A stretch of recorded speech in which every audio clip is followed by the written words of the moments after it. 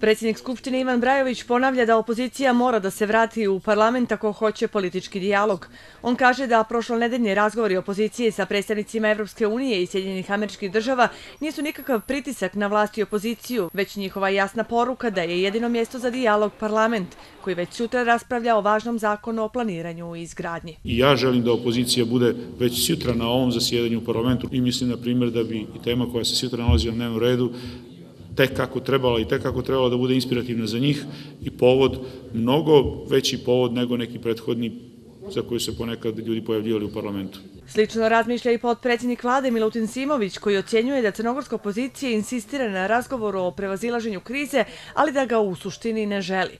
On posjeća da je i premijer jasno poručio da ako žele dijalog, on se jedino može voditi u institucijama sistema. Ja mislim da tu ne treba ništa, ništa dodati.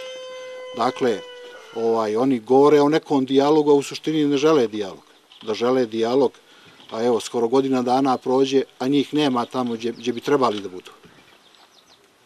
A kao što vidite, mi, mi nudimo dijalog, ali ne trošimo vrijeme. Za veći dio opozicije premijerov prijedlog za dijalog u parlamentu je neprihvatljiv. Smatraju da je upravo on neiskren i da sa vladajućom strukturom treba razgovarati samo po principu uzmi ili ostavi. Po svemu sudeći, trenutno izvjesnije da bi do razgovora konačno moglo doći unutar opozicije. Lider SDP-a Ranko Krivokapić najavio je prošle nedelje da bi mogao da preuzme odgovornost na sebe i okupi, kako kaže, građansku opoziciju. Mislim trebamo sjesti za sto, pogotovo sada posle ovog ciklusa razgovora i dogovarati, to su njove činjenice. Ipak su to nove činjenice i inicijativa Europske unije i inicijativa Sjemičkih država koje moramo sjesti zajedno razmotriti za sljedeće korake. Kako nezvanično saznajemo, ova inicijativa trebalo bi da bude formalizovana ove sedmice.